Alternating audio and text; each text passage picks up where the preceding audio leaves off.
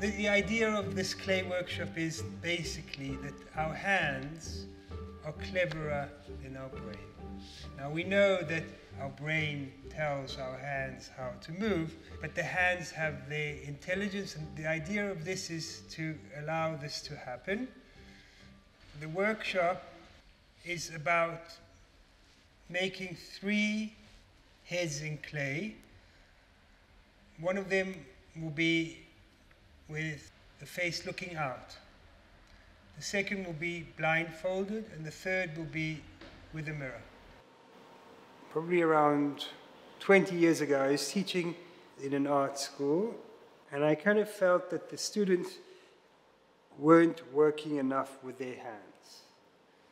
So I introduced a workshop around perception, around visual intelligence to do with making, and this idea evolved of the three heads. And sometimes you see really extraordinary things that people make. They just have this ability to explore and imagine and make things which are really special.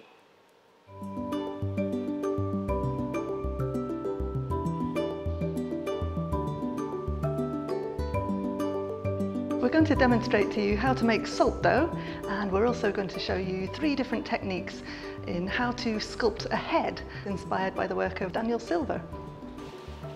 It's a very simple process and it's a new way to look at yourself and others and you can exhibit your work at the Fruitmarket online. Today we're going to use salt dough, but you might want to see what you have at home already. So maybe you have some Play-Doh or some plasticine, or have a look around your kitchen. Maybe you've got some modelling icing or some marzipan. If you want to make salt dough with us, then it's really simple. You just need three ingredients. We've got some plain flour, some salt and some water. For the salt dough we need 250 grams of flour, 125 grams of salt, and then also 125 milliliters of water. So this is time to get messy. This is where we'll put in the water into the bowl, the salt, and the best tool to use is your hands. And we're just gonna go right in there and start to mix it all together. It should start forming clumps. Try and get it into a ball shape using your hands. It will get messy. If the mixture feels too dry, try and warm it up in your hands and squishing it together between your palms and pushing it together. It's a little bit crumbly, but if you keep warming it up in your hands, just like passing it around your palms, like pushing it till it forms a ball shape.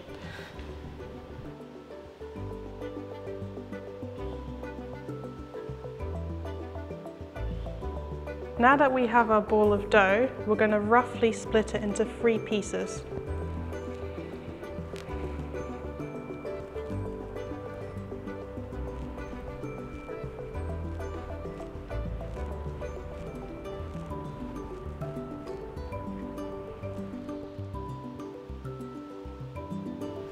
So for our first head, I'm going to sculpt the salt dough and have the head facing away from me. So the nose, the chin will be on this side, so I can't actually see what it is that I'm, I'm sculpting.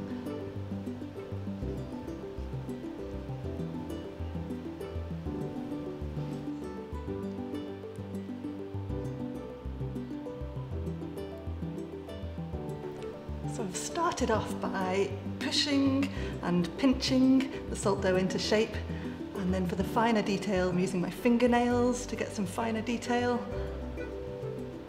Pinching, squeezing to make the neck. It didn't take me very long to make that, just a few minutes. And it's good to know when to stop. Don't overwork your, your head. So for this next technique, we're going to use a mirror. So if you just want to place it in front of your face and then grab your dough. And for this, we want to focus on looking at ourselves in the mirror and trying not to look at what we're working on, just trusting that our hands are creating the shapes that we can see in the mirror. So keep glancing into the mirror and feeling what features you want to work on. I am pushing in where I can see my eyes and then I'm going to work on putting in my nose, squishing that into the dough. Once you've finished, place it next to the one that you've done before.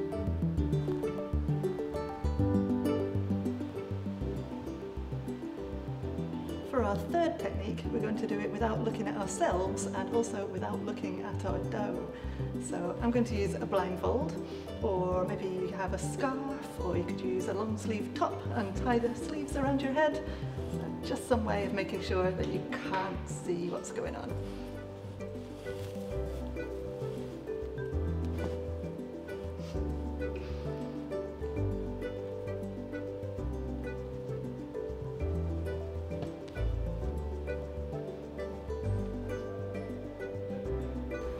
This one's quite tricky because I really need to think carefully about what my face looks like.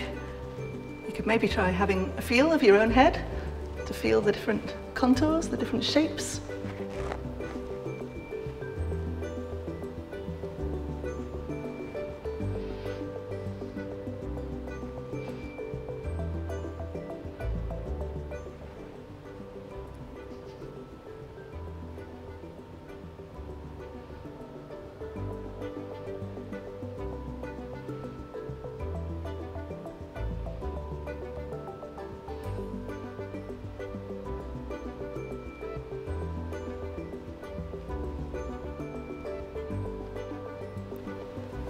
That's enough. So I think I've made all the features.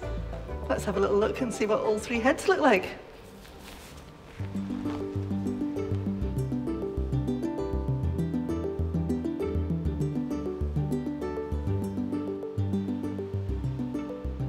Daniel uses a kiln, which is a really hot oven. We're going to use a regular oven. If you're a child, please ask an adult to help you. Put the oven on the lowest setting, which is usually 50 degrees Celsius, and leave until they've dried out. This can take about 6 hours. For a quicker result, you can use the microwave. On the lowest setting, microwave it for 10 seconds at a time until it hardens. They will also dry out naturally. Try placing them on a sunny windowsill or in an airy cupboard. Once it's dried out, you can add colour using paints or food colourings.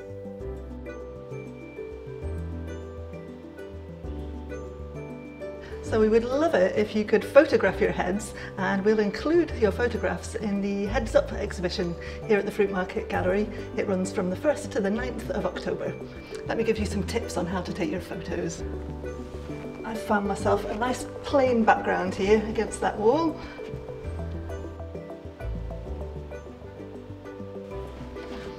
Take my camera. Mine's actually got a portrait mode on it, but the direction I'm holding it in, that's called landscape. So I can fit the three heads nicely side by side. And we're looking for a nice close-up shot. I'm holding my camera really still and I'm tapping on the screen so that my camera knows where to focus. Let's see how it came out. Yep, I'm happy with that. When you've taken your photo, head to fruitmarket.co.uk to upload your picture.